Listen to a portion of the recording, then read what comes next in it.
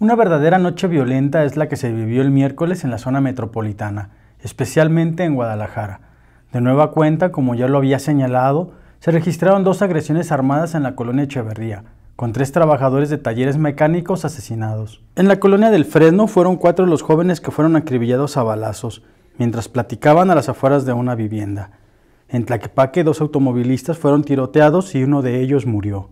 Tonalá no se quedó atrás, y un hombre fue asesinado a balazos en una zona de departamentos.